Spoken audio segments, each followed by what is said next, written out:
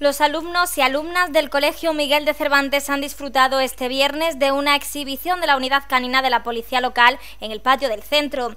Se trata de una actividad enmarcada dentro de la Semana Cultural que se celebra desde el pasado lunes. Una exhibición subraya Jacinta Santiago, responsable de la unidad canina de la Policía Local, en la que los asistentes han podido ver una serie de ejercicios que realizan los perros en los entrenamientos.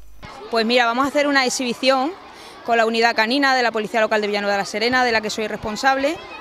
Y bueno, eh, vamos a hacer una, serie de ejercicios, que es lo que normalmente ellos hacen en los entrenamientos para el adiestramiento de los guías caninos, ¿eh? que están adiestrados en, la búsqueda de sustancias estupefacientes o drogas. Y bueno, eh, va, va, a costar de varios ejercicios, en mochilas, en personas, estáticas y en movimiento.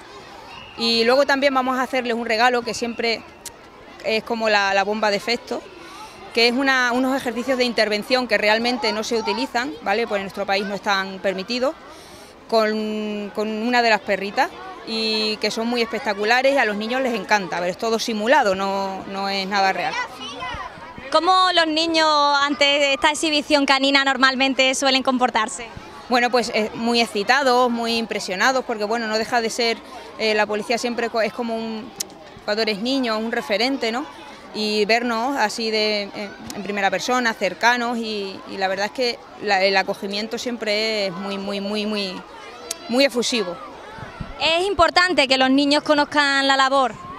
Por supuesto que sí, es importante que conozcan la labor, que sepan que la policía está para ayudarles, que, noten la cercanía de un cuerpo ¿no? que, está viendo, que, se ve como una autoridad y la verdad es que es muy gratificante que los niños entiendan y sepan que por lo que trabajamos, que siempre es por su seguridad y su bienestar. Además, cuando se pone animales de por medio todavía mucho mejor, ¿no? Hombre, por supuesto. Y también eso potencia el respeto y el cariño hacia los animales, ¿no? Porque estos animales eh, están muy cuidados, tienen una dedicación absoluta por parte de los guías y, y también pues no deja de transmitir esos valores a los pequeños, ¿no?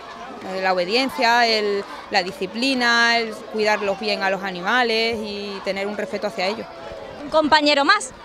Por supuesto que sí, los cuatro perros de los que consta la, unidad canina de aquí de Villanueva de la Serena son otro, es un agente más, de hecho su nombre, su nomenclatura es eh, agente K9, cada uno de ellos tiene su nomenclatura.